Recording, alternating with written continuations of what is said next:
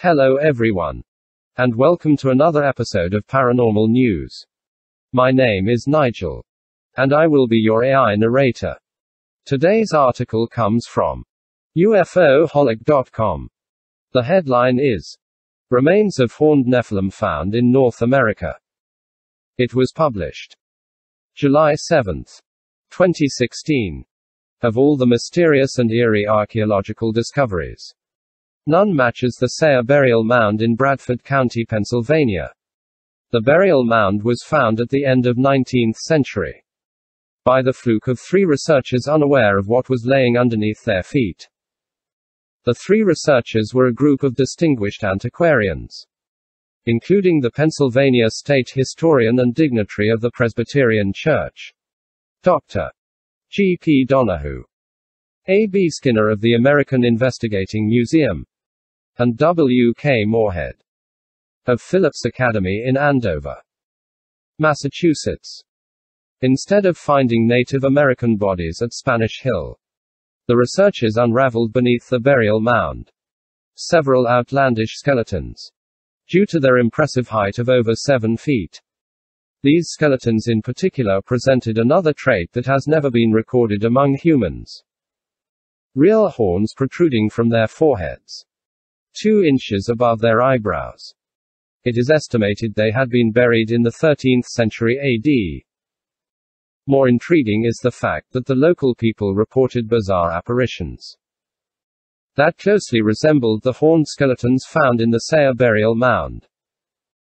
Like many fresh archaeological findings, soon after the skeletons were sent to the Philadelphia Museum, they were allegedly stolen or misplaced and lost. Apparently, these pieces of history could have shed some light on the prehistoric inhabitants of North America of those days. On the other side, some claim these skeletons are the remains of beings who served for higher purposes, suggesting a culture of the Nephilim and their offspring, altogether forming the Shining Ones, often depicted as beings with horns. The horns symbolize wisdom and rulership, and this correlation can be seen in many shamanistic cultures where members ornate their heads with horns. According to a theory of writer Mary Sutherland, the use of horns as garnishment in headpieces was done to display kinship with an Atlantean bloodline, with the right to rule.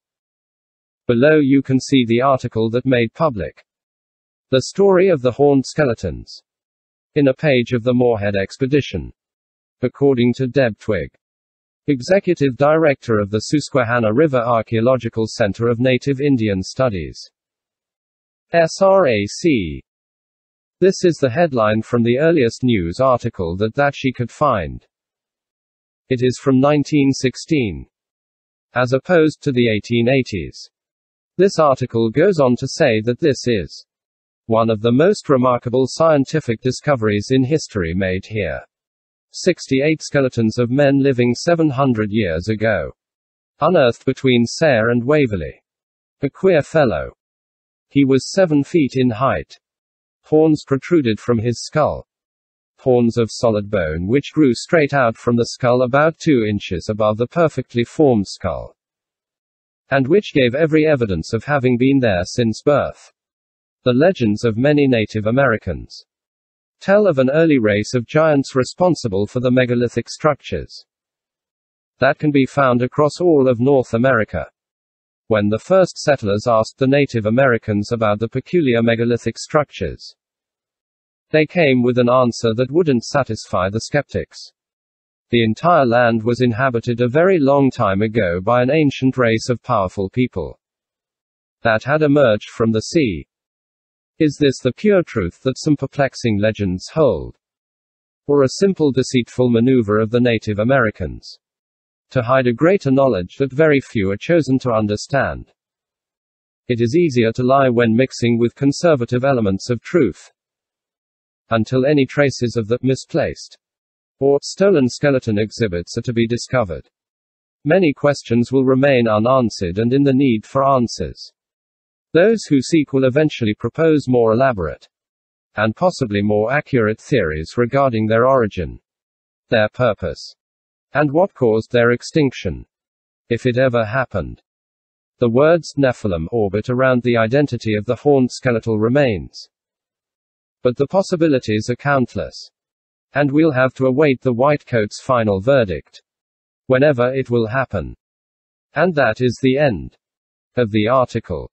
This first photo that I will put on the screen is the article about the Moorehead expedition. As you can see, this was an actual article about the finding of the horned skeleton. The next photo that I will be putting on the screen is a photograph of the actual horned skull that was found. This was definitely a very interesting article. The Bible, as well as many legends from multiple civilizations, speak about giants. We have multiple examples of skeletal remains of giants as well. Let me know down in the comments section what you think. Until we speak to you again. Love many. Trust few. And do harm to none. God loves you. And so do we.